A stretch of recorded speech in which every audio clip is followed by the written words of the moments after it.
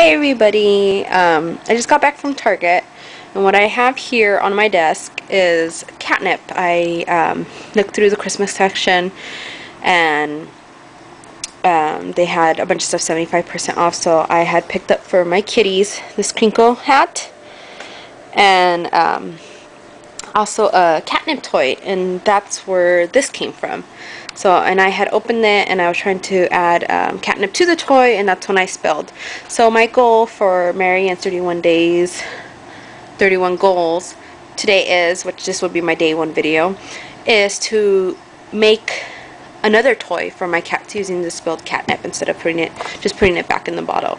So, um, I'm to start and then I'll show you when I'm done. Okay. Okay everybody, so what I've done is I've taken this old sock and this is one of those half socks where it's supposed to cover the front of your foot if you ever have like those slip-on heels.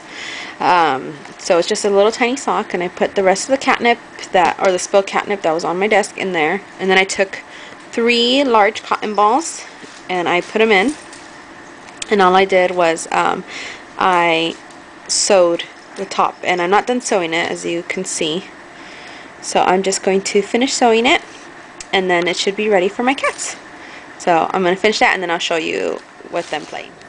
Okay, so let's see if I can get this. So there it is, the finished catnip sock. All sewed up and then as you can see, my kitties, they love it, but um, they love anything with catnip. So there's one goal. So there's, yeah, there's day one. Thanks everybody.